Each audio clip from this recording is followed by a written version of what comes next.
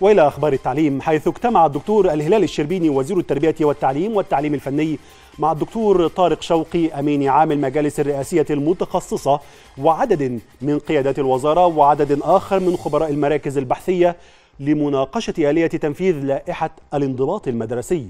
من جانبه أشار الشربيني إلى أن الوزارة لديها مشروعات لاستعادة العملية التعليمية كل ثقتها وهيبتها. لذا تم تخصيص عشرة درجات للحضور والسلوك والتي سيتم تطبيقها هذا العام حتى تعود المدرسة والنظام التعليمي للانضباط.